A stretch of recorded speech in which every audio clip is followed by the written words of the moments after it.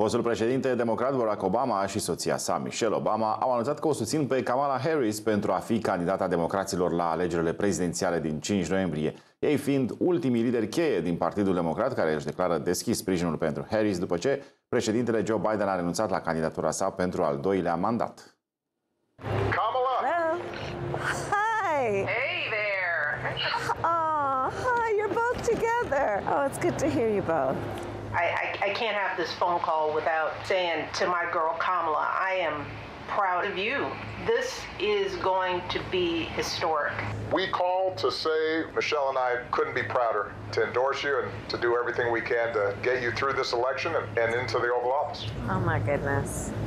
Michelle Barack, this means so much to me. I am looking forward to doing this with the two of you, Doug and I both, and um, getting out there, being on the road. But most of all, I just want to tell you the the words you have spoken and the friendship that you have given over all these years mean more than I can express. So thank you both. It means so much, and um, and we're gonna have some fun with this too, aren't we?